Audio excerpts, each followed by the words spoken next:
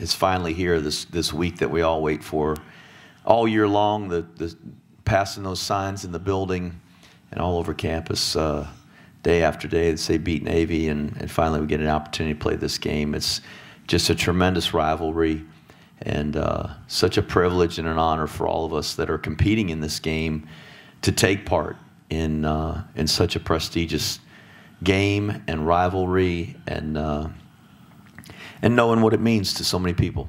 There's there's a lot of guys on this team that that have played here and been here with us and and uh, and seen our fortunes change in this game and as a program and really really proud of this group of guys.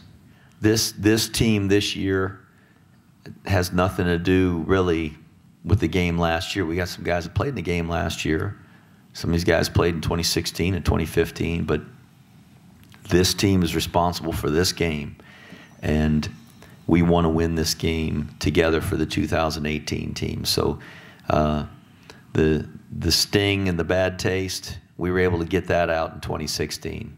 We got some guys on our team that have never played in this game, and some have not experienced a loss. So part of that is is uh, getting the message across of just trust us. You don't want to feel what that feels like. So get yourself ready and help our team get ready so that we don't have to experience that. I'd, I'd, be really excited for these guys to be able to have that legacy that they leave for the guys that follow them and and the opportunity to be able to say they went three and one in this in this uh, in this series.